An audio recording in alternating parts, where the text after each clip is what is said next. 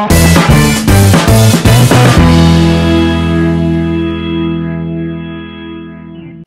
everyone, it's Aziz here in my next painting video and today I'll be painting this beautiful beach scene taken at Bells Beach and I'll leave the equipment in the description down below and let's get straight into the video. I hope you guys enjoy.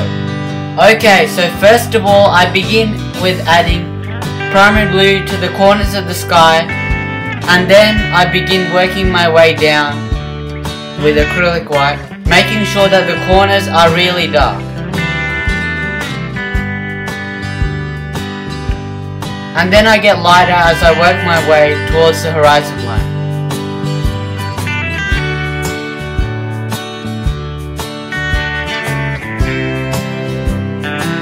Next I begin adding in the distant hills using a light green and then I begin adding the water transitioning from blue to a reddish orange color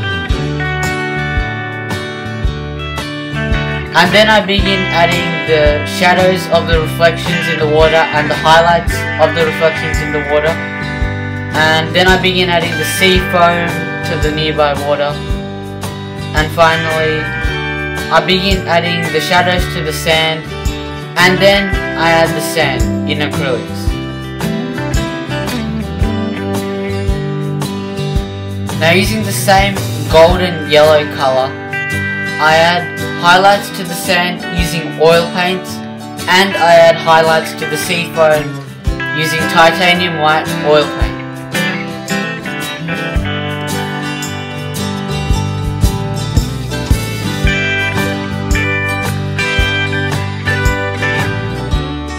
And after a few finishing touches, the painting is finished.